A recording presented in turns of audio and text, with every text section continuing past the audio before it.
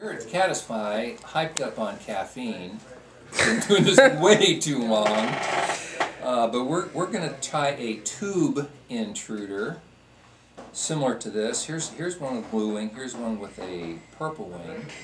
Uh, I'm gonna I'm gonna really try to zip through this because I know everybody needs to really get back to work, and you never know when the boss is going to show up, and want to know what you, how that project's coming. So first thing I'm going to do is I'm going to spin on a nice fuzzy. See, how can I say this in a manner that's politically correct? Nate, what is the bumpy back portion of a fly referred to as? The rump? Uh, I'll, I take rump, sure. I thought it was the butt, but you know, rump works for me. So we're going to put a nice bright color. This is STS Trilobal Dubbing. It's a synthetic fiber, and uh, we have a pri proprietary blend of about every bright color that Hareline makes. It's pretty cool. And that's just nice and fuzzy and fish attracting. And now we're going to put on a collar of UV Polar Chenille in gold. And by the way, I'm going to, I should mention, I left about a half an inch of tube without anything tied on it. And I'm not putting too much pressure on this tube because otherwise I would bend it or crush it. We've gone over that. This uh, this UV Polar Chenille is just amazing stuff. By the way, I ran the base of that Polar Chenille all the way forward to create a, um, a base. I ran the base. I ran the stem all the way forward to create a base for my body. Well, Um, the Zap-A-Gap, do you need that? No. I normally just head cement, but I left mine at home. I have my pre-cut Lagartun, silver, silver oval holographic mini flat braid. I'm carefully not gluing my fingers to the body. Yeah, yeah. So I'm going to put this on. No, no, sure I'm not. This mini flat braid is great. It's bright, it's nice and wide, it is very durable, and it uh, really conforms to the, to the uneven shape. Now I'm going to put a little,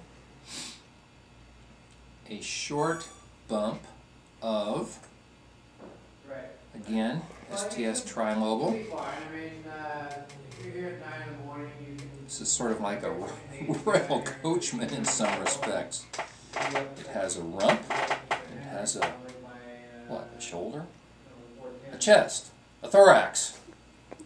Do steelhead flies have thoraxes? So far, I've got a rump and a chest. Okay. So we got a little. This is purple with some black and some silver ice dub mixed in. Boy, is it tasty.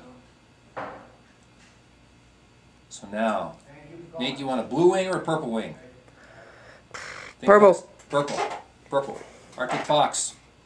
Got what you need, okay? Do steelhead like to eat purple? Grape. Yes, they do. These little Arctic fox tail sections are really nice. Um, I didn't cut enough. No sense skimping, but it's a trick because I'll probably get too much now. Oh, just right. Take out a little bit of the underfur. Make this wing sparse, not too sparse, just the right amount of sparseness. On it goes. A little bit of Mirage, Flashabou. We have all sorts of things around. All sorts of fly, fly tying delights. Three strands. Again, watch your pressure. You see me take a honk on that and it starts to bend over. There's my flash secured. Okay, let's throw a marabou hackle on there. If you've watched any of these, you know I'm partial to tying marabou in by the tip. One reason is it gives us a nice fine center quill to wind. I like to fold my hackles by running the scissors along there. My hackle pliers are down here on the floor. That was really good. I'd hold it with my fingers. Marabou, it's a little bit wild. But if you don't mind the taste of dye, you can control it. I put about three turns on there. And then I blindly reach in and cut the stem and hope I don't cut my thread. I don't think I did. There we go. So, intruders can take a long time to tie. Now here's one part that's a little bit tricky. The wing is here. I'm going to loosen my tube, roll it over so the wing is underneath the fly, tighten it up again, and now I'm going to add on my barbell eye. The reason I did that is that I want the barbell on the underside, the opposite side of the wing. That will help this fly ride with the wing up. Will help tell the fly which way is up and which way is down. Flies like to know that, you know. So now I'm going to spin on a head with a dubbing loop. And if I wanted the contrast, I could use a real bright color, but since I have that hot, pinkish, shrimpish, glowingish at the rump of the fly, I'm going to use a purple up here.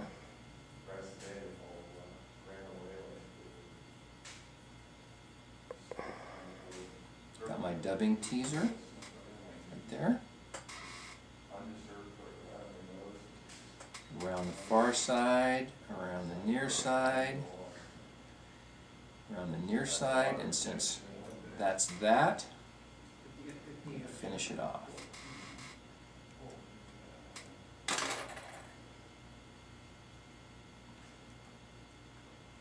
Since I can't stand it, because there's just a little bit too much tube showing there. My sense of workmanship won't, let me allow to ignore that. Won't let me allow, won't allow me to ignore that.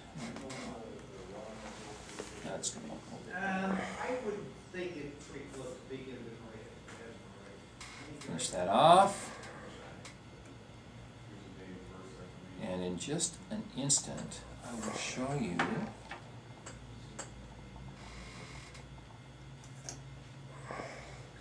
So, I will be able with the barbell eyes down, I will be able to attach my hook with the hook riding up, which is the way, if given a choice, we'd like to do it. There you go.